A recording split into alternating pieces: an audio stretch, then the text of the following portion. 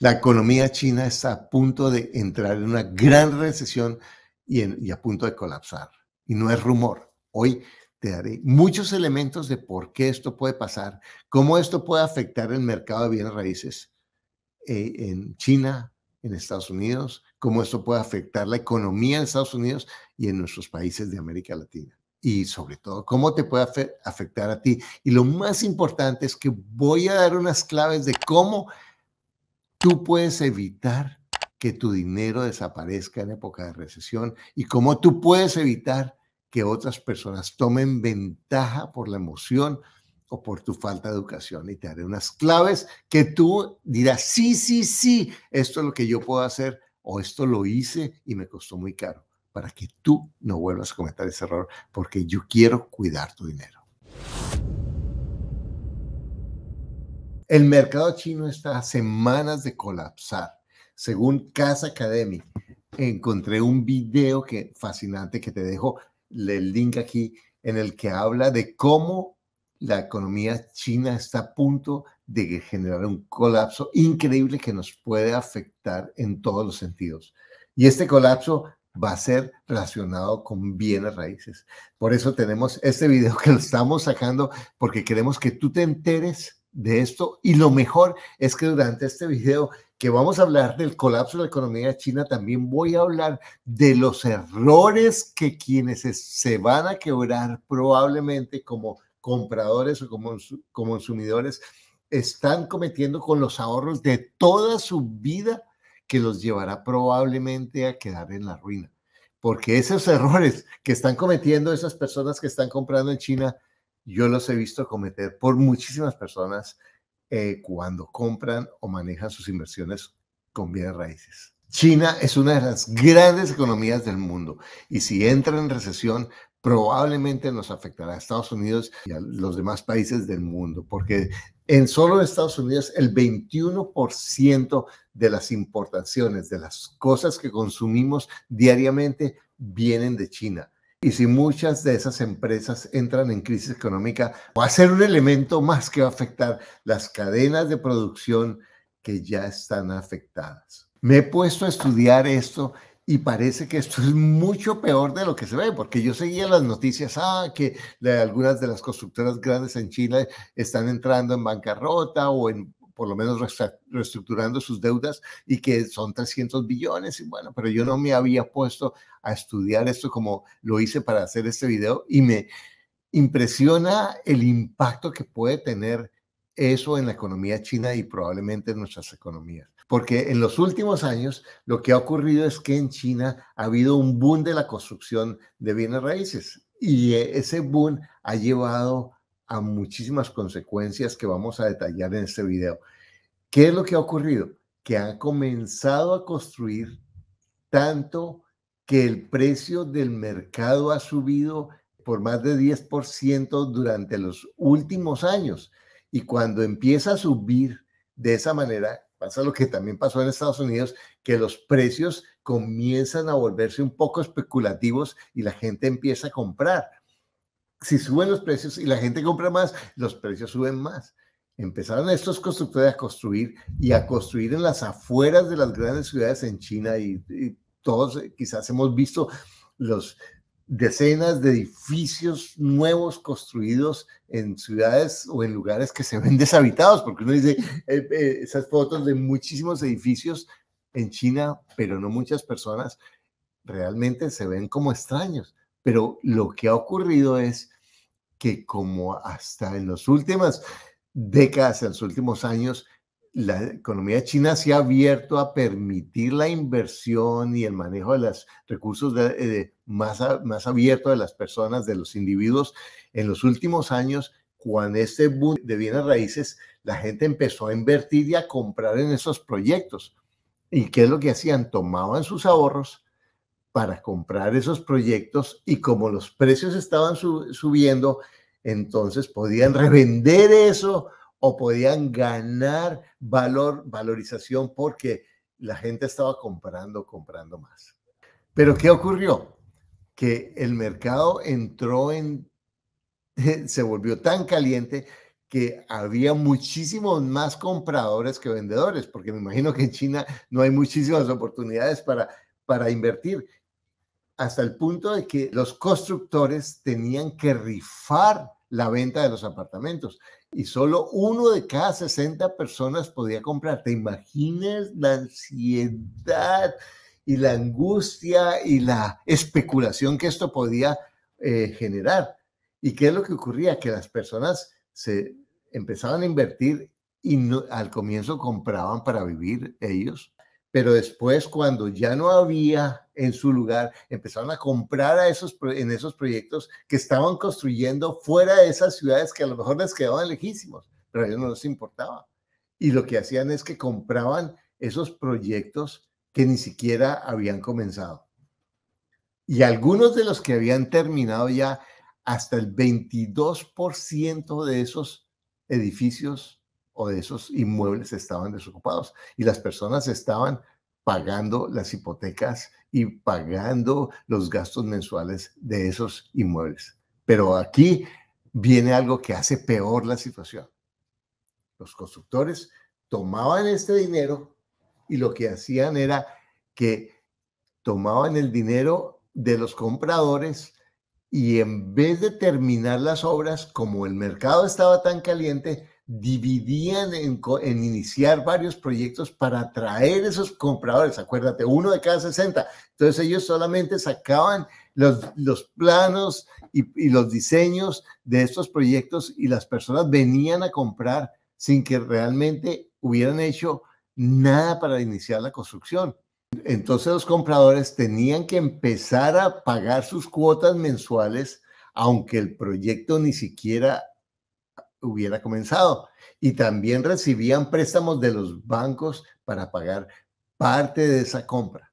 Entonces, el, el, comprador tenía un dinero que había invertido que para algunos significaba el pago mensual casi la mitad de sus ingresos mensuales. Y aquí es donde yo quiero un poco conectar con lo que yo he visto a tantas personas cometer ese error y es que se entusiasman con el valor de una propiedad en planos porque va a subir. Pero en realidad, ¿quién sabe si va a subir? Por ejemplo, ahorita el, mercado está colapsando. ¿Quién sabe si, si va a subir? ¿Quién sabe si esos constructores van a, a terminar esos proyectos? Y lo que hacen las personas es que se entusiasman y eso es algo que yo les insisto y les he insistido en mis videos una y otra y otra vez. Yo no recomiendo comprar en proyectos. Yo sé que hay, hay constructores muy honestos y sé que hay gente que ha ganado dinero invirtiendo en, en proyectos, en planos, pero yo en general no recomiendo eso porque es supremamente arriesgado, porque si el constructor se quiebra, porque si hay una crisis y los constructores no pueden terminar, porque si el banco no presta, porque si, se, porque si tiene un problema con la ciudad o tiene un problema de, eh, de estructura, cualquier cosa que pueda pasar, eh, que es muy probable en una construcción nueva, los pobres compradores, que son la parte débil en estos proyectos, terminan con su dinero enredado y lo peor es que muchas veces tienen que seguir pagando las cuotas. Entonces, ¿qué es lo que pasó en China? Y ahí viene el problema. Se está, cada cosa que les voy a decir va, a agravar peor la situación, que como empezaron los compradores a ver que invertían su dinero en comprar y los proyectos no comenzaban, en las redes sociales comenzaron a publicar esta inquietud que, que estaban comprando proyectos que no, que no, está, que no existían. Realmente existía seguramente un plano, pero que no habían construido un solo ladrillo y no solo eso, o proyectos que ya estaban avanzando, como los constructores tomaban el dinero para empezar otros proyectos, comenzaban a pararse. Entonces había unos que habían avanzado y estaban parados y otros que ni siquiera habían comenzado. Entonces los, los compradores comenzaron a reunirse, que es muy difícil por todas las restricciones políticas y tal que existen en China, empezaron a reunirse y empezaron a planear un boicot para no pagar más sus hipotecas. Y hay un límite que tienen esta organización o este movimiento de, de compradores hasta para el 20 de octubre que si los constructores no están, no reactivan sus, las construcciones, van a dejar de pagar las hipotecas. Entonces, ¿qué es lo que ocurre cuando masivamente los deudores hipotecarios de un banco dejan de pagar sus deudas? El banco no es no es el dueño del dinero, el banco sencillamente es un intermediario del dinero.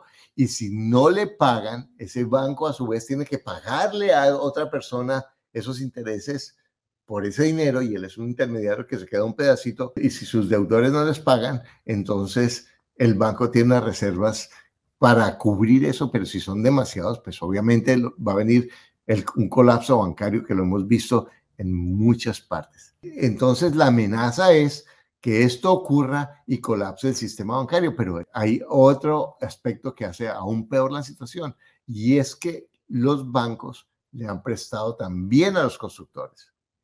Y como los constructores están dejando de vender porque los compradores ya en China ya perdieron la fe en los constructores, entonces no pueden construir más y están empezando no solamente a parar las construcciones, sino a quedarle mal a los bancos. Entonces a los bancos les quedan mal los constructores y también le quedan más, le van a quedar más los, los deudores hipotecarios. Entonces eso va a generar un colapso que está amenazando a los bancos. Pero para hacer las cosas peores, como se está empezando a crear este, eh, este pánico o esta desconfianza en el sistema bancario, las personas están empezando a ir a los bancos a retirar sus, sus ahorros.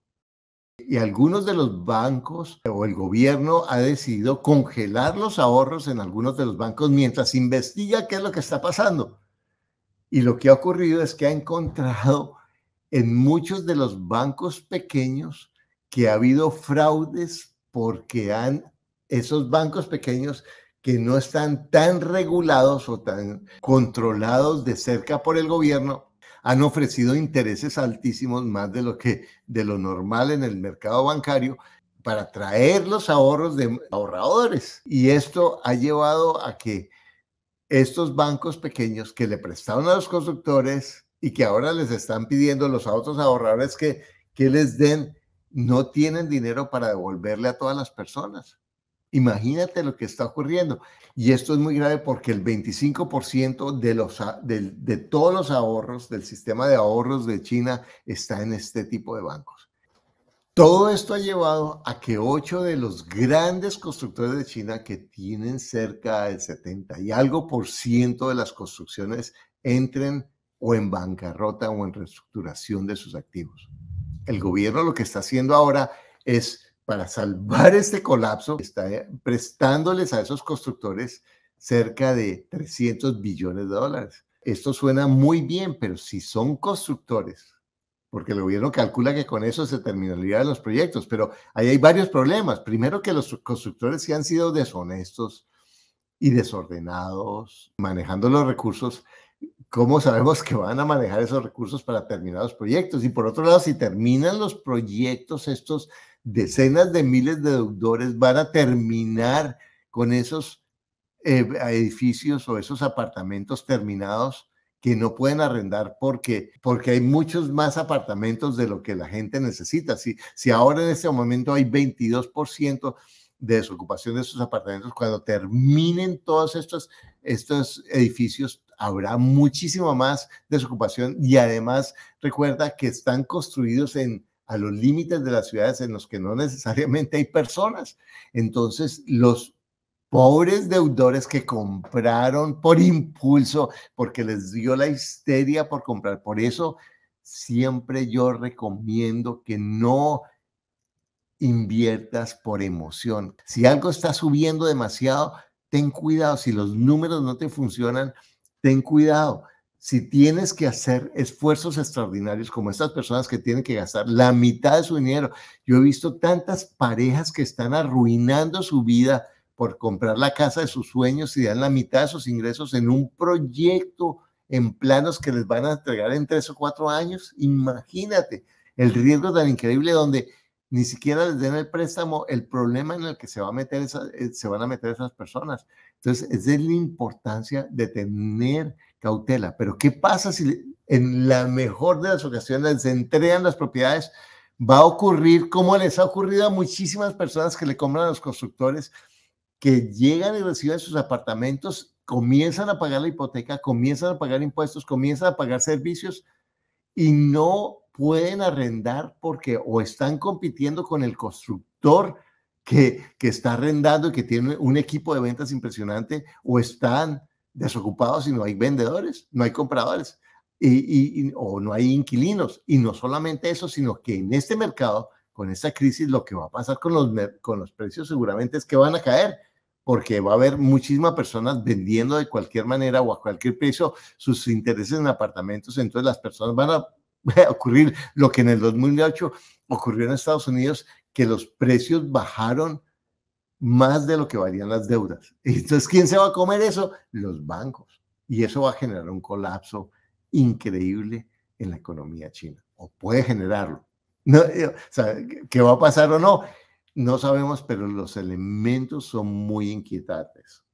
Ahora, con respecto a los ahorros, el gobierno chino tiene un seguro de hasta 15 mil dólares para las personas que tienen sus ahorros y tiene otro seguro de hasta 75 mil dólares para los ahorros de las personas. Pero lo que ocurre es que tiene una cláusula que dice que si el banco ha estado involucrado en fraudes, entonces no le paga el seguro al ahorrador. ¿Te imaginas? ¿Quién va a saber? Yo llevo a mi banco y pierdo mis ahorros porque mi, porque mi banco está involucrado en fraudes si yo ni siquiera eh, suerte si tengo conozco el nombre de una de las personas del banco, el primer nombre, ni siquiera el nombre, el primer nombre de una de las personas del banco, ahora voy a ser yo responsable porque los directivos del banco están involucrados en fraude. Imagínate esas reglas. Pero ¿qué es lo que está pasando? Que todo esto va a llevar a algo que es sumamente grave en cualquier economía y es la pérdida de la fe en el sistema bancario. ¿Y qué pasa? Si la gente pierde la fe en el sistema bancario, no lleva su dinero. Y si las personas no llevan su dinero, el banco no tiene recursos para prestar o para mover sus recursos y seguramente no va a tener con qué devolverle el dinero a, las otras personas, porque de alguna manera el, banco, el dinero que tú depositas se lo da a otra persona y esa persona lo, lo, usa y después lo devuelve y se lo da a otra persona. Y en últimas, lo que va a ocurrir es que este banco no va a poder operar y, puede quebrarse. Y si los bancos se quiebran, las industrias también se pueden afectar, porque en últimas, si las industrias tienen préstamo, las cadenas productivas se pueden afectar. Todo en últimas va a quedarse. ¿Y cómo ese 21%, por lo menos en Estados Unidos, cómo van a subir los precios de todas las cosas que nosotros diariamente recibimos de China o en los otros países lo mismo. Si solamente con los contenedores, que con los contenedores costaba mil dólares traer un contenedor de China y ahora puede costar 10 mil o 12 mil dólares. Y antes duraba 30 días, 60, ahora dura 6 meses. Y todo eso ha afectado los precios, la construcción, toda la economía. Imagínate lo que puede ocurrir. Ahora, si hay un colapso en la economía china, y sabemos que hay muchísimos inversionistas chinos en la bolsa de Estados Unidos y en las empresas de Estados Unidos. Si ellos necesitan dinero, ¿qué van a hacer? Muy probablemente vender activos, o sea, vender, vender activos que sus activos son acciones. Y si muchos inversionistas venden acciones, ¿qué pasa con los precios de las acciones? Va a serlo muchísimo más volátil, sin contar lo que pueda afectar a las 110 billones, 120 billones de dólares en, inversiones de empresas americanas en China, que obviamente se van a afectar por todo ese colapso. Ahora, ¿qué va a pasar? Pues que no pase nada, pero en realidad, porque el gobierno, a lo mejor el gobierno chino puede imprimir y salir, no, no sabemos qué, qué es lo que va a pasar, pero hay muchísimos elementos que hace muy difícil la situación para el gobierno chino, muy difícil aún más para los inversionistas, para las personas, para las pequeñas inversionistas o compradores chinos. y obviamente desastroso para el mercado de bienes raíces. Entonces, ¿cuál es la lección para esto? No, no tenemos nada que hacer con los bancos chinos, con el gobierno chino, pero sí cómo estoy invirtiendo mi dinero, cómo estoy manejando mi dinero, cómo yo estoy invirtiendo por emociones o estoy invirtiendo porque tengo el control de, de mis finanzas y tengo un plan. ¿Cuál es el plan financiero que tengo para mí, para mi familia? Bueno, te quiero invitar a que me dejes los comentarios sobre esta información y que y te invito a que leas Un inmueble al año, no hace año, mi libro, que está muy, muy detallado y realmente muchos de estos casos para que no te pase de muchas maneras lo que a esos ingenuos y muy buenas personas, seguramente inversionistas chinos que han dedicado los ahorros de su vida para comprar, pero comprar de una forma impulsiva y de una forma desordenada. Te invito a que mires el link de Casa Academy, donde está el video de donde me inspiré para hacer este video, y también a que aquí está el link del libro para que tú puedas aprender y dentro de esta incertidumbre de recesión, cuides tu dinero, asumas el control y te eduques financieramente. Si mira lo que pasó en el 2008 en el mercado de bienes raíces de Estados Unidos y lo que más ha afectado a las personas en las crisis o en las recesiones es la ignorancia financiera y la falta de educación financiera. Esas son las personas que desafortunadamente más se golpean con estas crisis y yo no quiero que tú estés ahí, porque recuerda, tienes todo lo que necesitas para lograr lo que quieres, lo único que te aleja es un pensamiento que no es cierto.